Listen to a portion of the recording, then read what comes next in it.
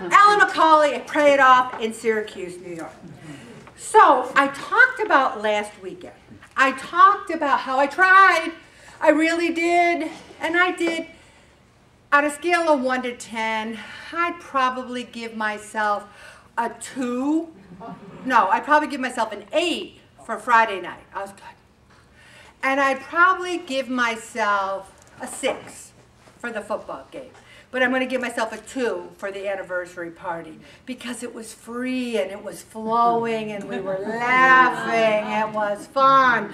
But again, that was on a Sunday, so Monday I'm getting back in the saddle, okay? So, what we need to do with any kind of permanent weight loss is we have to shift our perspective from saying this is all perfection or quit. I'm going to be perfect or I'm going to quit. Or I'm going to do this for a finite amount of time and then I'm going to do whatever I want. We need to shift our perspective to say, not this. So we end up having feelings of guilt, shame, and low self esteem. I was a little down on Monday. I had that cat of nine tails going, You run a weight loss group. Couldn't you have done a little bit better?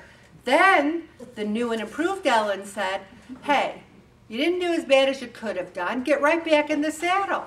And that's what I did. Because what good does the guilt, shame, and low self-esteem do? Does it make you feel better? No. no, it makes you want more food, right? so what happens is you think, I've blown my diet, so I might as well eat more, and then I'll be good tomorrow. And this is where we have to say, okay, you can go to a party. You can have birthday cake. And you know what's interesting? They had cake.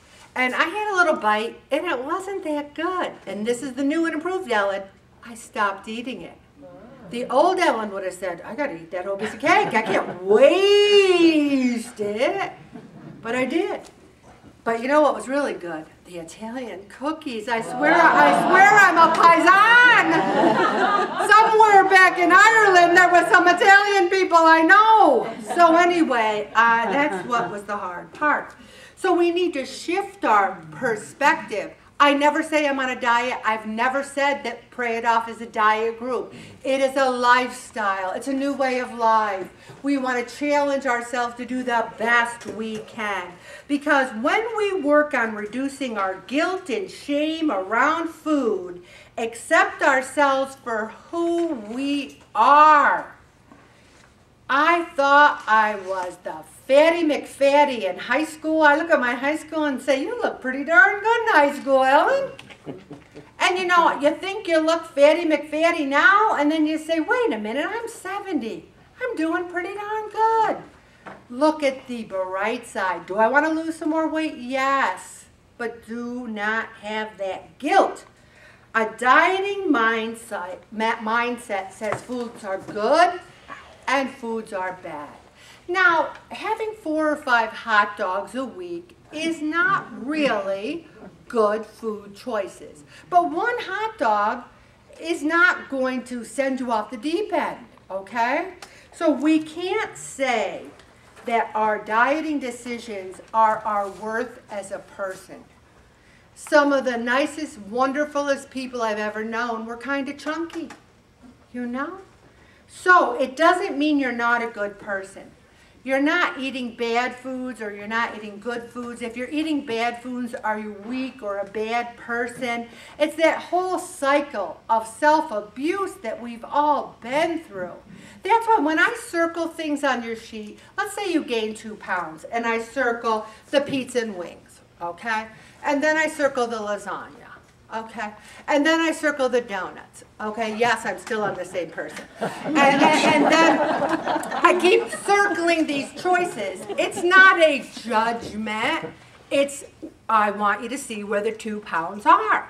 So if you want to lose two pounds, you need to eliminate some, maybe not all, but some of those circled things. And we need to add more good stuff. And by good stuff, you're sitting out there going, but it's really not good, Ellen. It is. Blueberries are good. Certain fruits and vegetables are good. I know someone who doesn't like fruits and vegetables, and she had over a week uh, zucchini and created it in different ways and actually liked it. We need to say, what makes my body feel good? And I have to tell you something. When I eat the right things, when I move more, when I get good sleep, I feel great. I woke up Monday morning and felt kind of like a, a food hangover, you know? I didn't feel as good about myself, about my body, okay? But we need to limit that negative self talk. We need to eliminate it. We talked about it last week. We talked about eliminating saying that we're failures, that we're, this is why I want to celebrate and start again because we're here right now. And we need to make small, incremental changes over time. Over time. You know, they had this whole buffet for the football game, and there wasn't one healthy choice of, among them. Not one. There wasn't fruit, there wasn't no veggies, nothing. So I knew it was going to be a long day. So they had a very thin wrap with egg salad in it. So I said, you know, uh, I think I'll try that. And then they had uh, banana bread. So I figured somewhere there was a banana in that piece of banana bread. Somewhere, right? So I had one piece of banana bread and the egg salad. So this is what I mean. I wanted to eat something to get me through to the game because otherwise I might have gone there and bought a $25 hot dog at the game. You know how expensive they are there. So this is what I mean about making smarter choices. You take a look. I didn't have the donuts. I didn't have the pastry, but you take it. Now, um, I could have scraped the egg salad out of the wrap, but the wrap didn't look that calor- calorific. And I wrote it on my sheet, okay? So small incremental changes. Gonna stop right there, Bobby.